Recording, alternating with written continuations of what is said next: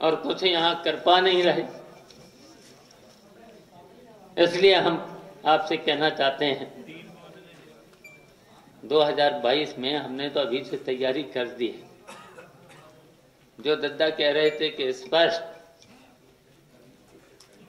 तो मैंने कह दिया कि अब जो हमसे अलायंस करेगा और हम झुक के अलायंस नहीं करेंगे। समाजवादी पार्टी रहेगी की मजबूरी है सच्चा बहुत ज़रूरी है यूपी की मजबूरी है सच्चा पार्टी रहेगी, चाबी के चुनाव चिन्ह रहेगा। अब तो इंतज़ार बहुत हो गया है। बहुत हो गया है। अब जिससे अलायंस करेंगे छोटी छोटी पार्टियों को भी जोड़ेंगे, और एक, कम से कम एक बड़ी पार्टी से भी अलायंस करेंगे।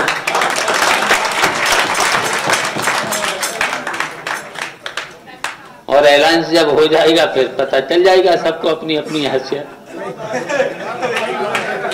सबको पता चल जाएगा। बस हम ये चाहते हैं कि 2022 में प्रगतिशील समाजवादी पार्टी सरकार में रहे और सरकार में जब रहेगी, तब किसानों के सामने कोई दिक्कत नहीं आएगी।